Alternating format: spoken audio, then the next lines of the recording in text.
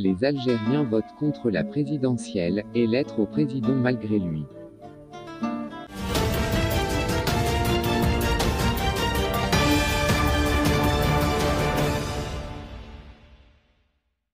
Un référendum à ciel ouvert, les Algériens votent contre la présidentielle.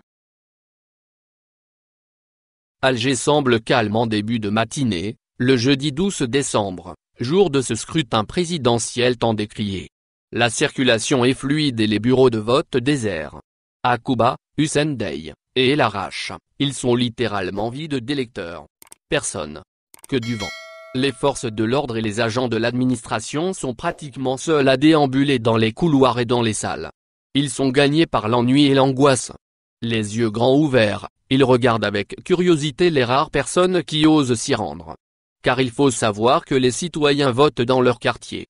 Quand bien même ils feraient partie de cette très très faible minorité pro-élection ils ne s'y risqueraient pas. Le rejet des présidentielles s'est quasi généralisé au centre d'Alger, et ça ne passe vraiment pas, devant les voisins, d'aller voter par les temps qui courent.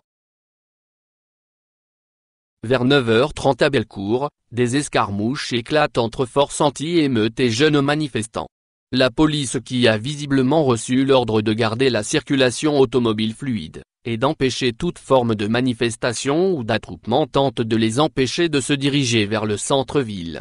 C'est une pluie de pommes de terre et d'objets de tout genre qu'utilisent les manifestants pour en venir à bout. À Didouche Mourad la situation semble normale jusqu'aux environs de 10 heures. Les manifestants qui arrivent sont pourchassés dans les rues adjacentes par les forces anti-émeutes et matraqués. Leur nombre ne cesse de croître. Ils s'appellent au téléphone et demandent du renfort. S'ensuit une bataille pour la prise de la rue Didouche Mourad. L'heure est à la tension. Des murs de policiers sont disposés en travers de la route tous les 20 ou 30 mètres pour retenir la foule et l'empêcher de regagner son point de rencontre mythique qu'est la rue Ketabi. Très vite débordés par l'ampleur de la foule, les policiers battent en retrait et perdent inévitablement du terrain. Les manifestants cassent les différents murs de brigade anti-émeute et libèrent le passage en scandant en chœur sans interruption, au gang. Ils nous ont ramené cinq chacals, on a dit qu'il n'y aura pas d'élection, et pour ça on s'éveillera et on mourra. Ou encore Istiklal. Istiklal. Indépendance. Indépendance. Après une nuit à affronter les forces de l'ordre ils crient encore leur rage.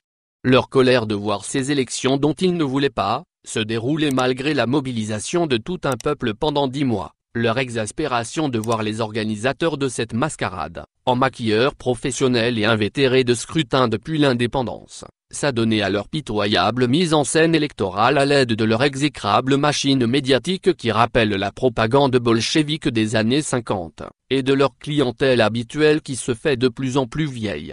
Les marcheurs n'attendent pas les résultats, ne s'y intéressent pas, n'y croient pas et n'y ont jamais cru.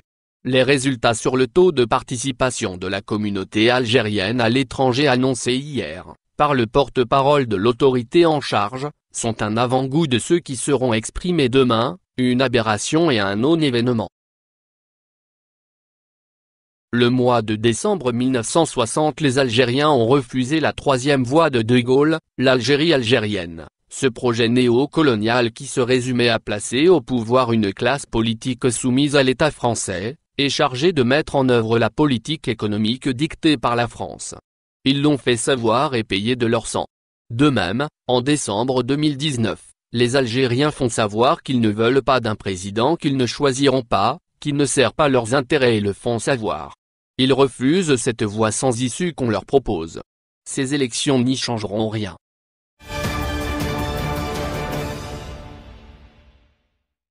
Lettre au président malgré lui. Tu seras sans doute élu président ce 12 décembre. Comme tout le monde le sait, élu, c'est beaucoup dire, car comme tu le sais toi aussi, tu as été désigné par un conciliabule de cruels généraux vieillissant dans leur tanière à crapules. Un bon dribbleur, disait-il pour le choix de ton prédécesseur, capable d'entourloupe de tout genre, menteur, manipulateur et, surtout, sans scrupule devant la dilapidation de notre capitale souveraineté nationale, pour monnayer leur couverture, qui a été usée jusqu'à la déchéance. Ils ont jeté leur dévolu cette fois-ci sur le poète que tu prétends être et par poète, je n'oserais pas offenser ces poètes qui respirent la liberté et la dignité. Je me contenterai du qualificatif de poète de service à la solde de tout ce qui détient des moyens de terreur, y compris le mythe, d'ailleurs, et le patriarche d'ici-bas, ces fossoyeurs des lumières qui éclairent les peuples insoumis. Primés en Amérique, en Italie et ailleurs, certainement pas pour tes audaces littéraires, comme le fut le père de Nejma, mort oublié des honneurs factices. Nejma, cette mère patrie rebelle, ressuscitée par un fleuve de sang d'hommes libres dont tu as perdu toute trace mémorielle, qui t'a mis au monde, t'a donné une nationalité et le respect que te reconnaissent les peuples et les nations. Demain, tu seras placé sur son trône comme une momie de cire. Sans droit ni pouvoir, tu ne seras soumis qu'à des devoirs, ceux qui échouent au cerbère sans envergure, ni amour propre pour leur singulière personne. Dans ta solitude, tu te fuiras devant la honte de te savoir président sans présidence. Nommé par un des contes de vieillards séniles en quête d'existence pour parer à leur insignifiance, de soldats pris en otage pour subvenir aux besoins de leur progéniture, de véreux affairistes s'accommodant de toutes sortes de vices pour faire prospérer leur capital et les plus malheureux parmi les sans volonté de s'instruire, de se cultiver et de se doter d'une conscience qui pourrait leur indiquer le chemin de la sortie de la servitude. Dans ta solitude, tu compteras les prisonniers politiques, ceux dont l'opinion rejoint les millions de voix qui défilent depuis maintenant dix mois en quête de liberté et de dignité dont tu ignores la substance. Au soir de l'imposture électorale, tu as détourné tes yeux des décomptes du nombre de blessés, d'arrêtés, peut-être d'assassinés par les criminels qui t'ont enchaîné à la plus exécrable posture que peut subir tout citoyen égaré par mes aventures. Le surlendemain et les jours qui suivront, tu auras à répondre à la colère inconsolable du peuple, qui t'ordonnera de céder le trône que tu as usurpé par lâcheté et goût de la démesure.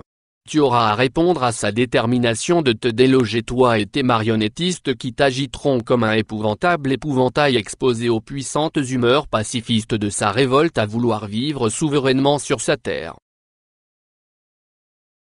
Tu ne connaîtras aucun répit, ni les jours ni les semaines à venir, et s'il le faudra pendant des mois durant, tu devras faire face à son endurance et à sa détermination à vouloir te faire fuir, te faire abdiquer ton imposture jusqu'à lui restituer sa terre, son état, son armée et toutes les richesses que tes maîtres convoitent et détournent à leur profit égoïste. Vos mangeoires seront désertés, et vos rituels boycottés sans violence. Il vous sera opposé juste l'insolence de la détermination, et de l'endurance à déserter vos coquilles vides vous appelez institution et tout ce par quoi vous exercez votre domination. La force brute fournie par tes employeurs sur laquelle vous comptez mater la révolte, ne vous sera d'aucune utilité devant le torrent du fleuve détourné en amont de l'histoire et qui, ce jour, a su et a pu reprendre son cours normal. Abonnez-vous à notre chaîne. Cliquez sur la cloche pour rester au courant de l'actualité algérienne.